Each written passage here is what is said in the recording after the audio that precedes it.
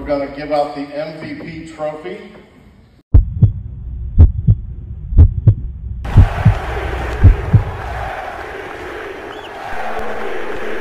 back to the back scorer as far as I'm concerned. Doesn't simply try to overpower and dominate you. His footwork is tremendous. His shot making ability, he's got touch, he's got skills, he's got a three point shot, he's got a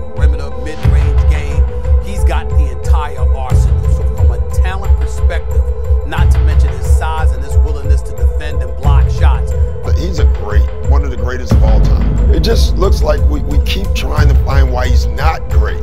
Like, And I say, does he have a weakness in his game? And I start from the rim all the way back to half court. He can do everything. What, let's take it even back. Let's take it all the way back from the rebound. Right? He does everything now. So now he's good at everything. He's shooting high 40 and three points now. And his range is out to the logo. Mm-hmm. Right? You know him mid range. He can post you up. He can face you up. He's still gonna dunk on you. He can. He he's, his ability to see the floor now is so much. It's better now because he's seen every coverage. Like it's at the point now where I'm like, I'm looking at this guy. I said, I've never seen nobody get better.